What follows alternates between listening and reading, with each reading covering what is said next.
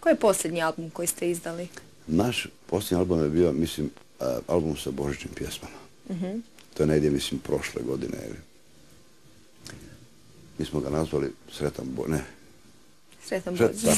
Sretan Božić. Naime, to je e, naš drugi božićni album. E, imamo jedan album koji smo snimili prije desetak godina, ali on ono nesretno prošao. Mhm. Jer bo su matrice od tog albuma ostali kod našeg e, Josipa Ivankovića i mi smo s njim se posvodili i nisu mogli više to normalno koristiti. To je, dakle, ne sad završio pa smo išli napraviti novu verziju tih mnogih pjesama i dakle, taj album je objavljen prošle godine, mislim, ako neće biti prepašan, ne bi se sakladio. Mm, pripremate li nove pjesme? Evo sad e, već imamo zapravo snimljene pjesme za novi album i jednostavno nismo stigli obaj, to je tehnički dio posla, dakle nismo stigli se slikati, fotografirati. Naime, imamo sad još to reći novog člana u sastavu. Da. Uzeli smo još jednog mladog momka koji se zove Kruno Mladili se znači da. ekipu. Da, e, još moram dodati eventualno da je na, na mjesto Hrvoja Majića, uh pokojnog je došao uh, Denis Špegelj.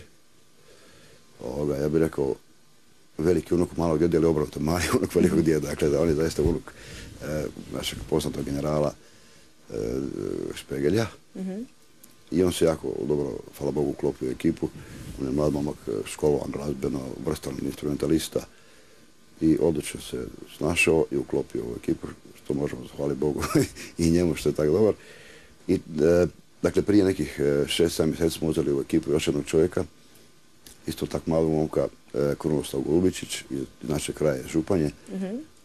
Također vrhunski instrumentalista i pak mlad dečko, ja bih rekao zgodan, iako, iako nisam žensko, ali evo, propustit ću to ženu odluče, neko odluče.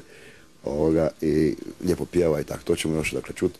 Na novom albumu ćemo staviti dvije i tri pjesme na kojima će on ovoga, pjevati. Mhm. Godinama imate zanimljive uniforme, narodne nošnje. Ja ne znam Da li je to kopija neke stvarno autoktone narodne nošnje ili da, ko je smislio? E, uniforme, dakle, onakakve su, one su e, kroj nekakav ono, po mhm. nekom našem e, neko našoj viziji, međutim onaj motiv koji je dakle, na, na našim prostucima je čisti izvorni motiv dakle, sa naših slavonskih mm narodnih nošnji. Međutim, ono što kroju e, narodnih nošnjama nije baš odgovarao. Ne? Pa smo ga prilagodili našim potrebama i mislim da je ovako dobro leglo. Međutim, problem je sa tim našim odorama to što traje već jako dugo, 20, 20 godina. Vrlo često Jedno te iste. Da. Sam košulje, pretpostavljam, mijenjate, a prsi su isti. ne bi nekad bilo loše i tri u toku večeri pravljenje. Ovoga, e, vrlo često čujemo kritike od mnogih ovoga, e, novinara, od ljudi koji mhm. prate glazbenu scenu, pa dokle više ti, da, da bar promjene... Aha, da bi vizualni identitet trebali promijeniti. E, vrlo često trpimo kritike, ja kažem s pravom. Međutim, ovoga, oblast glazbe zapravo nije u onom smislu kao pop glazba koja podliježe vrlo često promjenama i, mm i, zahtjeva vrlo česte nekakve zahvate. Na Dobro, pa svi sastavi tamburaški imaju svoj zaštitni znak, kazde, kožne hlače i crne da, košuljevi, se postalo neka, neka standard za većinu, mm -hmm. svima nekakve prsluke, čizme i to ne. Mm To je se postalo nekakav obrazac za sve nas tamburaše. I ono što je, mi smo zaista pokušavali to ponekad razmišljati o promjenama, pa ono, angažirali smo ove stiliste, sa crte, da su lijepo nastavili nekog visokog momka zlodoga u prsluku kakav je sličan našemu i hlačao, pa smo neki povrali što ono nećemo mijenjati, ne. Teško ćemo naći nešto što je interesantno od ovoga. I onda smo odlučili da će nam te ovoga, naše odore trajati dok se ne raspadnu Mm Tada ćemo smo da i mi raspast. Težak taj sastav. Je, užasno težak i to je ono stakleni komadić, ja mislim imam par kila stakla na sebi. Znači nije dobro da padnete u vodu negdje u Da, definitivno ne. Kako je danas po vama stanje na estradi? Koliko je tamburica zastupljena? Postoje neki festivali? To je dugačka priča, zapravo, ja ću probati to skraćeno reći. Ja mislim da odnos e, medija, mhm. Prije svega javne televizije, nije dobar prema prema baš tom segmentu, čak neću reći ni tamburaške, nego narodne glazbe. Mhm. Ja bih to rekao hrvatska narodna glazba, tu se ja želim isvrstati, dakle, s ovim što mi radimo. mislim da nije ovoga, jednostavno do sad nije pronađena prava formula za prezentaciju te glazbe u medijima, pogotovo na televiziji. Ne?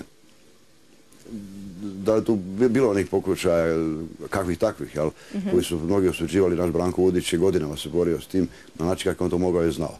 Doživio mnoge kritike, mnoge osude, ja, ja ga razumijem, on je se borio sa svojim poslom, ne. Mi smo koristili možda kao topovsko meso u priči, međutim, druge formule nije bilo. Dakle, na cijeloj hrvatskoj televiziji niko s tim nije htio ni, daleka baviti, on je, mm to radio na način kako je mogao i znao i nažalost doživio kritike i od, i od nas samih, što je loše. što, što se ja želim ovako u svoje ime ispričati, mislim da nije bilo korektno, a drugi niko se tim ne želi baviti. Mhm.